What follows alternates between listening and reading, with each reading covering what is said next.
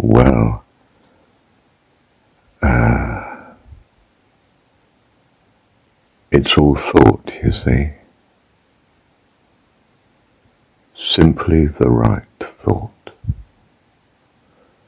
The thought of love, the thought of faithfulness, the thought of goodness, the thought of thought, of strength, of creativity, of God.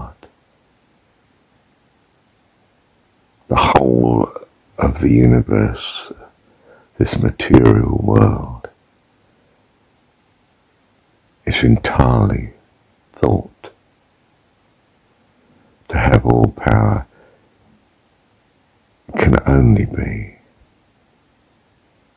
to be the author of all the thought that manifests as the universe.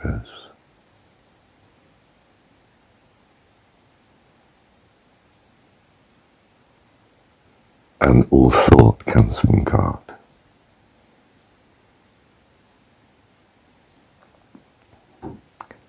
Open yourself. And that is an option. Open yourself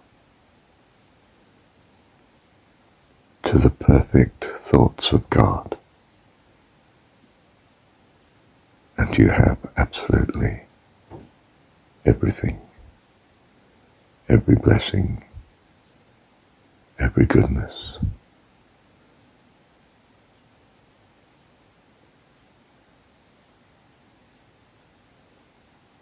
The perfection, completeness,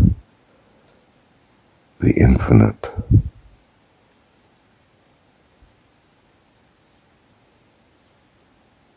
infinite, infinite, ever completeness of God.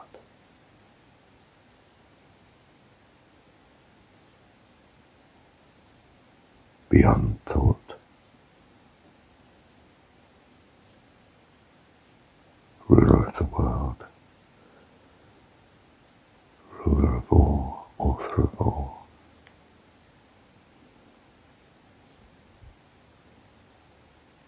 Wonderful one, our Heavenly Father.